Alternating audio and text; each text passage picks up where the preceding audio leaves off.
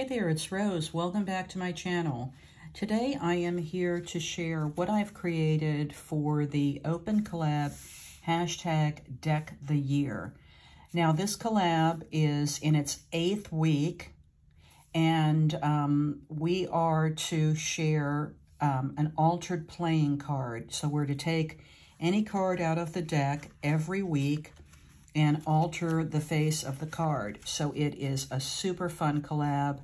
Since we're in week eight, this happened to come up on my deck, but um, I usually do a quick shuffle and I pick a card, a random card every week. And at the end of 52 weeks, we will have altered all the cards in the deck. So it's such a fun collab. I love being able to participate.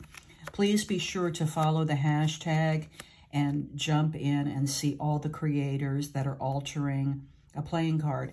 Now, as you know, a playing card is actually the same size as an artist trading card. So what you can do after you have altered your cards is you can trade them, you can send them in Happy Mail, you can save them, you can add them to pocket letters, which is fun.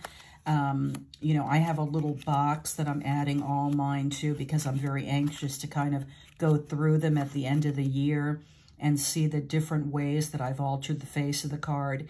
Anything that you'd like to do to the card to make it your own. Um, stamping, stenciling, painting, um, using your scraps, washi. Uh, it's just so much fun.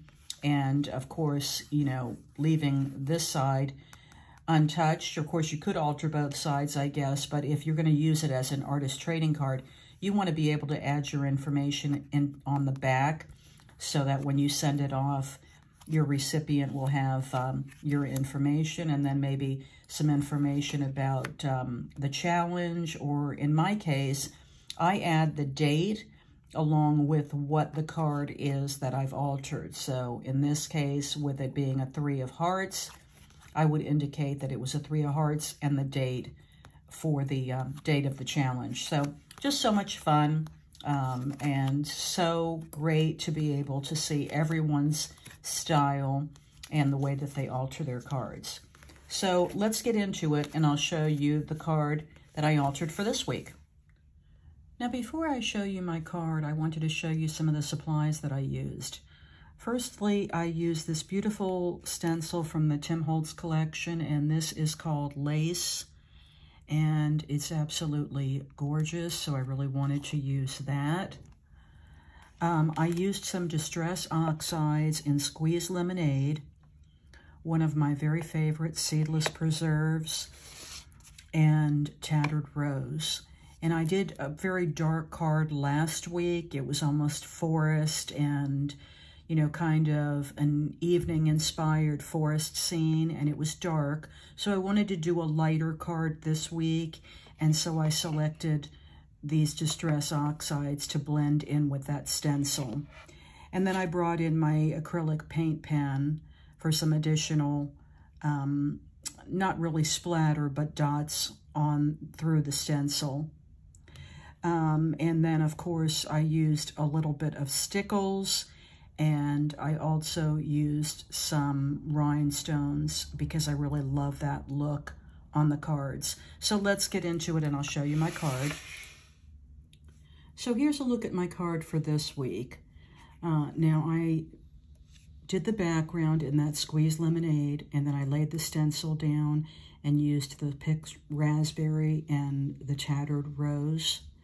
I had this die cut in my stash um, and it mirrors a lot of the same colors, so I wanted to add that. Now, this is a sentiment from Heidi Swapp. It says bloom, verb, to flourish or thrive. So it's a little definition sentiment that I thought was really perfect because it's sort of a flower background and the die cut is a flower.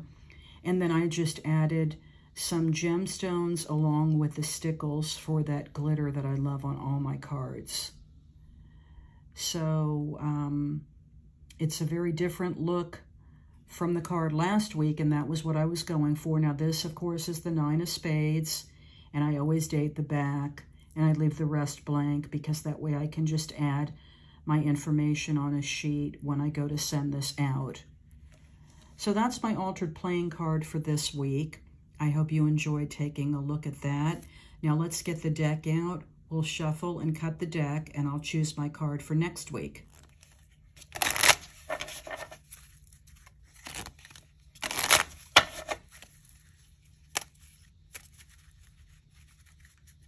Okay, let's go ahead and cut the deck and we'll see what card I'll be altering for next week. And it is the Nine of Diamonds. So that's my card for next week. And I hope you will follow my channel so you see how I decide to decorate the face of this card.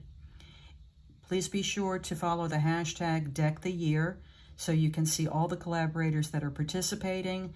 Thanks again to Penny for hosting. If you're new to my channel, I hope you'll consider hitting that subscribe button and ringing the bell notification so you're notified every time I upload a new video. Thanks so much for watching, and I'll see you next time.